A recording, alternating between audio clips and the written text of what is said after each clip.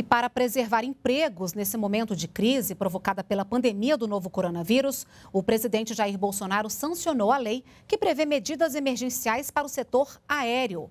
Glauco de Queiroz tem as informações. Bom dia. Essa lei, sancionada pelo presidente Jair Bolsonaro, que está no Diário Oficial de hoje, tem o objetivo de atenuar os efeitos da crise na aviação civil brasileira. O setor sofreu queda brusca na demanda. As empresas têm enfrentado dificuldades para honrar os compromissos. Uma das medidas prorroga para 18 de dezembro o pagamento de contribuições que vencem em 2020 previstas em contratos de concessão de aeroportos firmados pelo governo federal. Além disso, o reembolso de passagens aéreas por cancelamento de voo de março a dezembro deste ano poderá ser feito no prazo de 12 meses a partir da data do voo cancelado. O texto passou antes pelo Congresso Nacional. O presidente Jair Bolsonaro vetou um artigo que permitia a aeronautas e aeroviários saques mensais do FGTS.